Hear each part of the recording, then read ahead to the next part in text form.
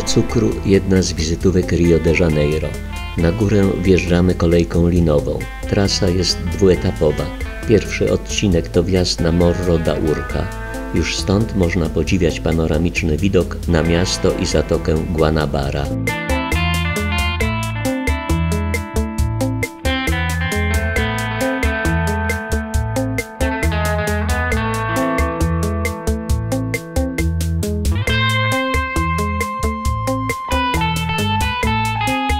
Miasto jest pięknie położone u stóp wzgórz i oddzielone od wody rozległymi plażami.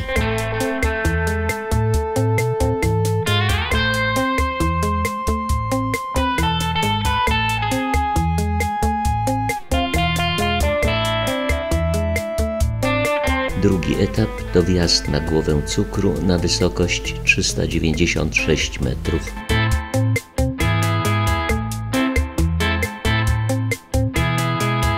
Bliżej czerwona plaża, a za cyplem plaża Leme i słynna Copacabana.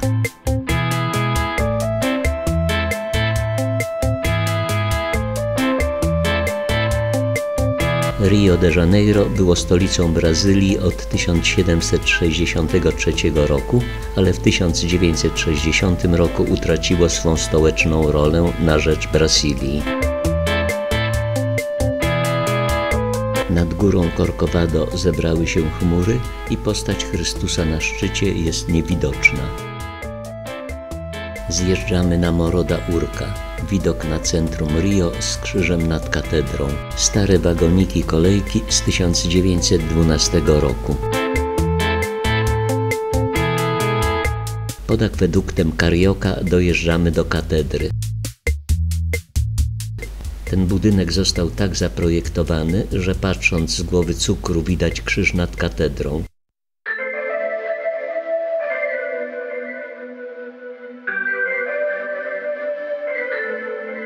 Katedra pod wezwaniem świętego Sebastiana o wysokości 80 metrów, kształtem nawiązująca do piramid Majów, została konsekrowana w 1976 roku po 13 latach od rozpoczęcia budowy. Światło dochodzi do wnętrza przez cztery ogromne witraże, a w stropie znajduje się dodatkowe okno w kształcie krzyża.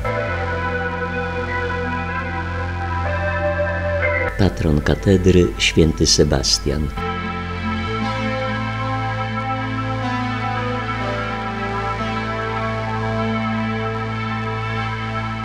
Katedra została zbudowana na planie koła o zewnętrznej średnicy 106 metrów. Ma 8 tysięcy metrów kwadratowych powierzchni i może pomieścić 20 tysięcy wiernych, z tego 5 tysięcy na miejscach siedzących. Teatr Miejski z 1909 roku przy placu Floriano, wzorowany na operze paryskiej. Widownia liczy 2300 miejsc. Budynek władz miejskich.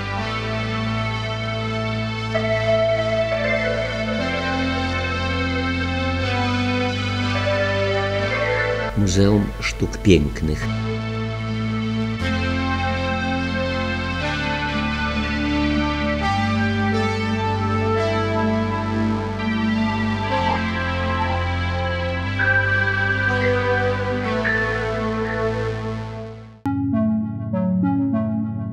Przy plaży Copacabana, obok hotelu Copacabana Palace, odwiedzamy sklep z biżuterią renomowanej firmy Amsterdam Zauer.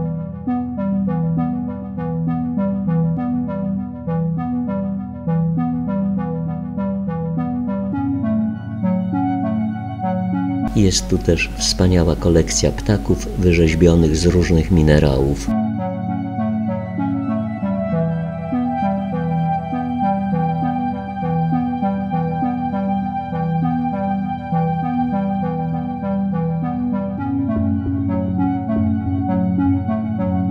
Kościół w dzielnicy Flamengo w pobliżu naszego hotelu.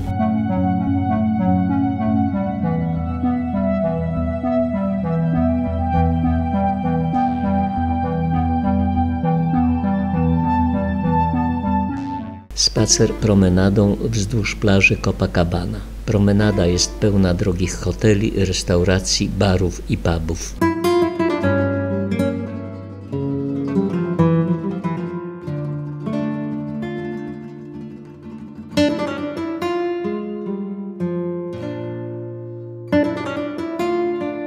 Jest piątek i już od rana widać oznaki rozpoczynającego się karnawału.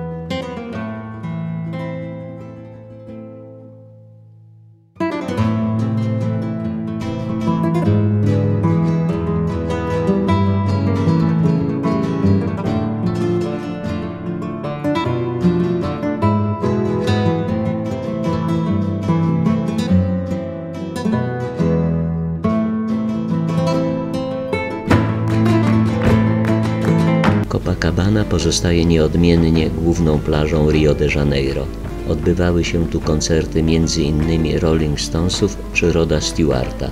W lipcu 2013 roku miały miejsce Światowe Dni Młodzieży z udziałem papieża Franciszka.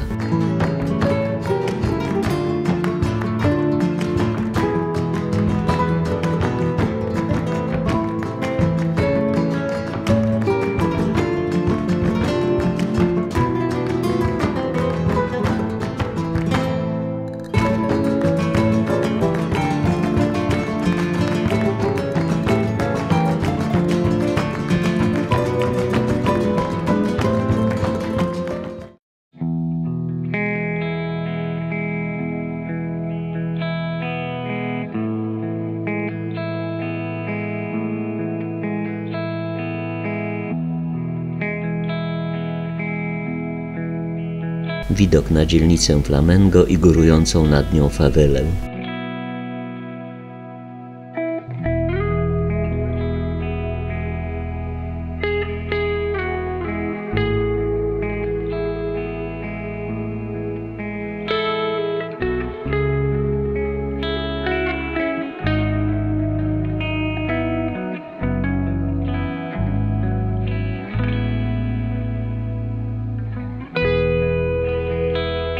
Stadion Maracana, brazylijska świątynia futbolu. Na tym stadionie w 1969 roku Pele strzelił tysięczną bramkę.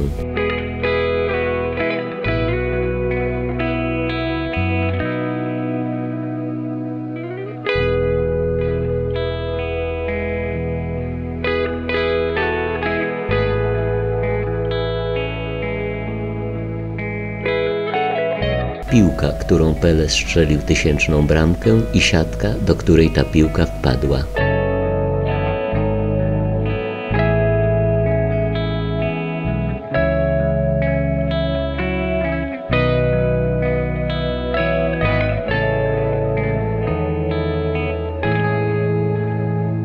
Wyjście na płytę stadionu. Stadion został przebudowany w ramach przygotowań do Mistrzostw Świata w piłce nożnej, które odbyły się w 2014 roku. Mieści obecnie około 78 tysięcy widzów. W przeszłości był to stadion, który mieścił nawet 200 tysięcy widzów i był wówczas największym stadionem na świecie.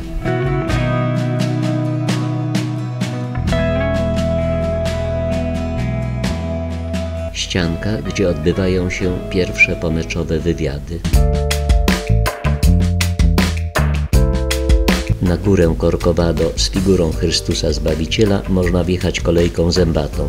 Z górnej stacji kolejki do samej figury trzeba jeszcze podejść po schodach lub wjechać windą. Granitowy posąg ma 30 metrów wysokości, a razem z podstawą 38 metrów. Rozstaw ramion wynosi 23 metry. Góra Corcovado wznosi się na wysokość 710 metrów i roztacza się z niej rozległy widok na Rio. Laguna Rodrigo de Freitas. W oddali głowa cukru. Stadion Maracana.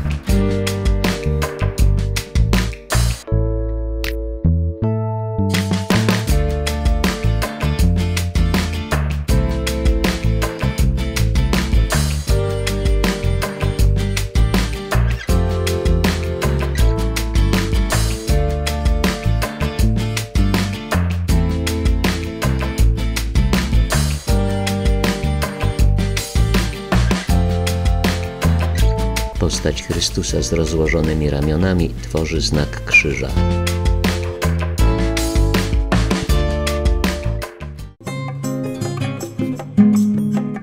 Karnawał w Rio jest największą tego typu imprezą na świecie. Zasadnicza część karnawału trwa 5 dni i nocy, a rozpoczyna się w piątek przed Środą Popielcową. W tym roku karnawał rozpoczął się 8 lutego. Na ulicach są tłumy ludzi i prawie każdy ma jakiś element stroju nawiązujący do karnawału. Przejeżdżamy wzdłuż plaży Copacabana, ale podobne tłumy ludzi są w całym Rio.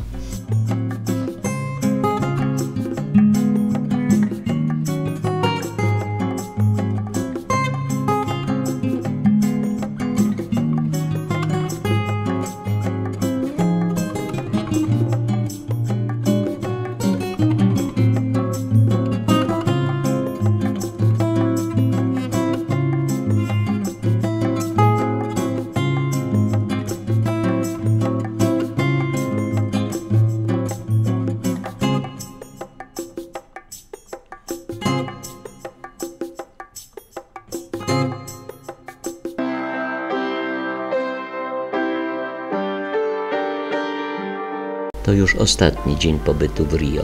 Idziemy na krótki spacer po plaży Flamengo, leżącą nad zatoką Guanabara i z widokiem na głowę cukru.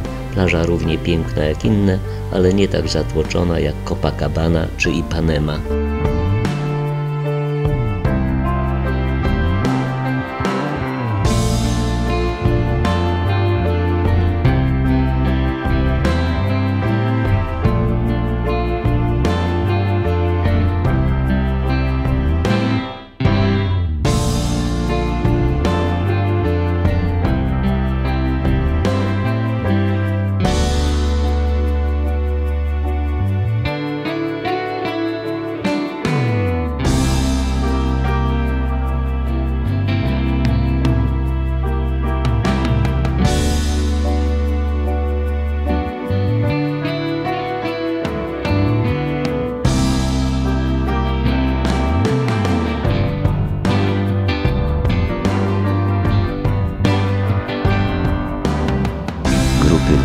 Chodzą ulicami, tańczą i śpiewają.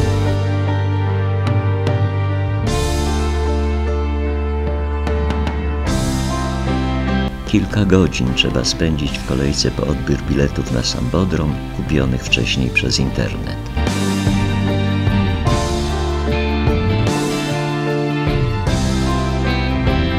Pozostałości starej zabudowy w dzielnicy Flamengo. Drodze na lotnisko przejeżdżamy wzdłuż swoistego parkingu, na którym stoją platformy oczekujące na swoje chwile chwały na Sambodromie.